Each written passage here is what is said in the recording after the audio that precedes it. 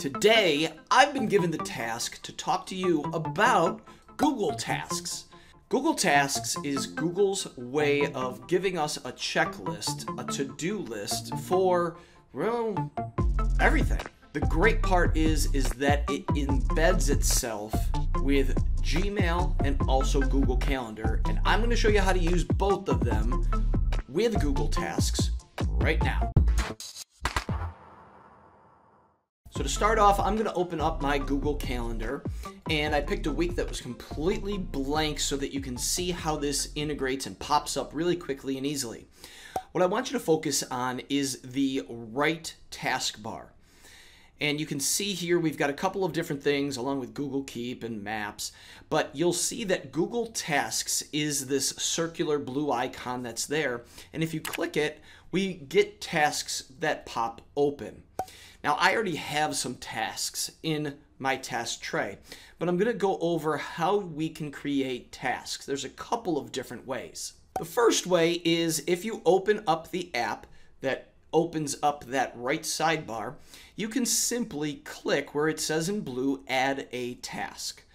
And if I click it, it's going to give me this little window here to give a title, to give details for this task, and then to add a date and also a time. And adding a date and a time is really nice because it will help us with the order of our to-do list if you want to order it by date and time. If you don't put a date and a time, that's fine. It'll keep it in the order that you created. A second way, in order to create a task inside of Calendar, if I didn't open up this app from the right toolbar, is to click the Create button with the colorful plus sign, or just click on a date and time that you want the task to be created.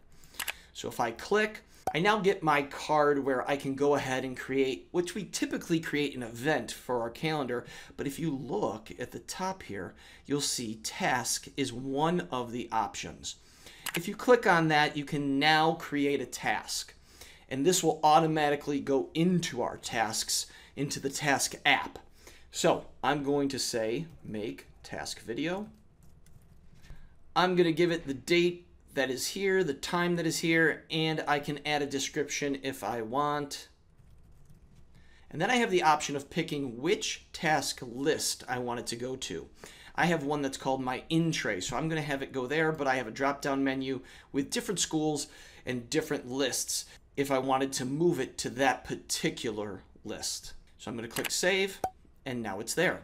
Let's go over to that icon and let's take a look if it showed up. And there it is. Make task video. We want to finish today and it gives the date.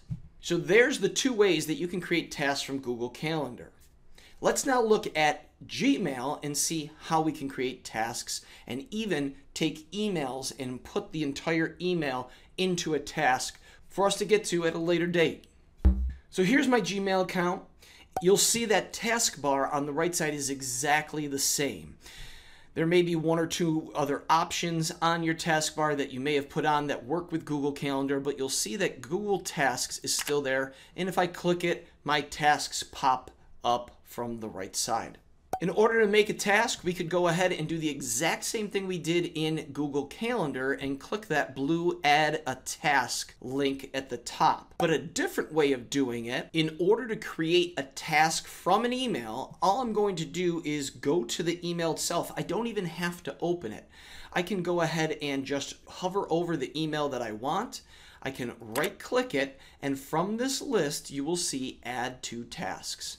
When I do that, it now gives the title of the email as a possible task title. I can change that if I want.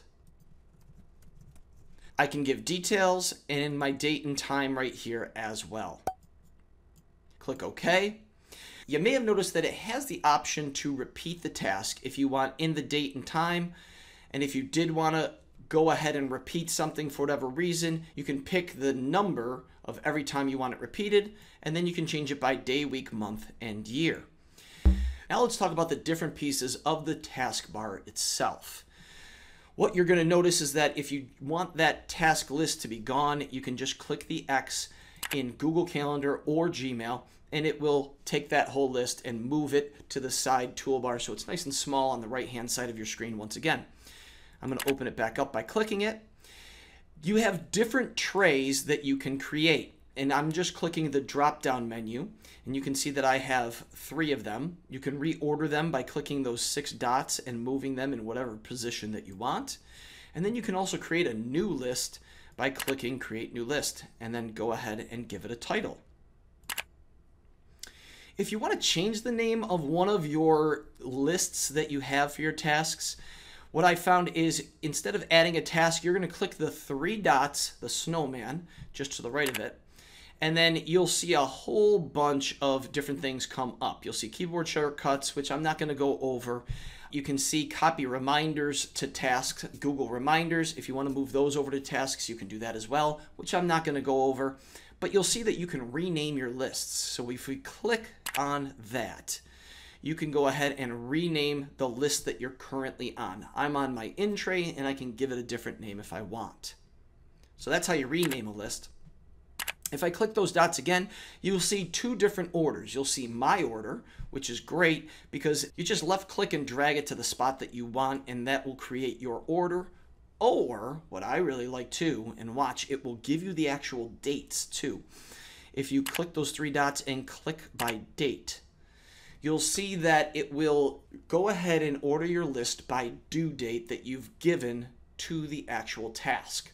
And so as we go down today, tomorrow, and then the future, and then at the very bottom, there'll be no date at all.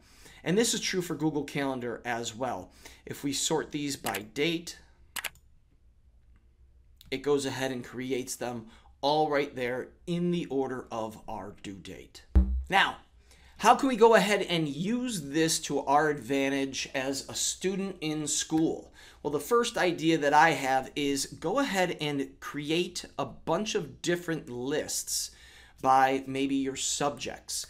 If you're getting emails from math, science, social studies, ELA, whatever classes you're taking, you want to make sure that not only do you have dates and times of tests or assignments on your list, but you also want to make sure that any email that a professor or a teacher sends you, you want to make sure that those emails get on a list so you know that that's something that has to be done.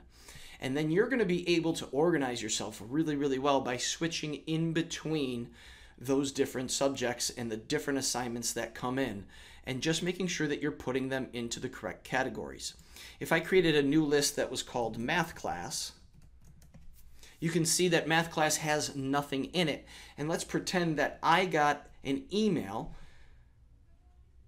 that I wanted to go ahead and put into my math class because that was something that needed to get done. I would right click on that email, I would add to task, and then I have the option of doing my title, my details, my date, and my time. And what you'll notice, I don't know if I said it before, but the actual email itself is connected to the task. And so if you clicked on it, it would open up and you would be able to remember, oh yeah, this is what I had to do. Thank you so much for watching. I hope this provided some value for you. I will see you in the next video.